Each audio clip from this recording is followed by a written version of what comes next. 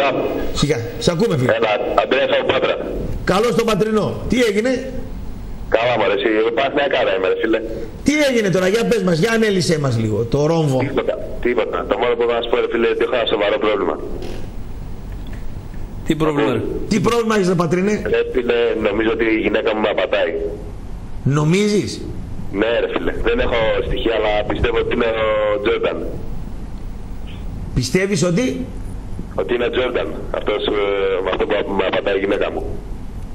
Ο Τζόρνταν ε, είναι αυτός; Την κερατώνει ρε παιδί μου με μένα λέει, πιστεύει. Απ' την Πάτρα πώς έγινε; Ρε φίλε, είναι τόσο μεγάλος ο Πούτσις μάλλον. Α, Ναι. είμαι τόσο μεγάλος. Με φοβάσαι λοιπόν. Ναι. Από εδώ μέχρι την Άμα Πάτρα. είσαι ρε φίλε 700 χιλιόμετρα μακριά και με φοβάσαι, Φαντάσου να το δεις μπροστά σου. Ρε τον άνθρωπο τι είναι, ρε τον άνθρωπο, ρε τον τρελό ρε. Ρε τον ανισόρροπο ρε. Τι ανομαλία κυκλοφορεί ρε μεγάλη να πούμε. Και έχουμε τι έχουμε εμείς, μέλη. Και τραβάμε τα παράξενα, έτσι, τραβάμε τα τραβάμε. περίεργα. Άμα στείλει Πάτρα τίποτα αυτά. φυσιολογικό στη ζωή, θα πούμε επ, κάτι δεν πάει καλά. το εδώ». κάνουμε περίεργο το φυσικό. Ναι, ναι, ναι, ναι, ναι, ναι. Έλα φίλε. Κάνει κρύο ρε φίλε σήμερα. Ναι. Σίγουρα. Έτσι. Ναι.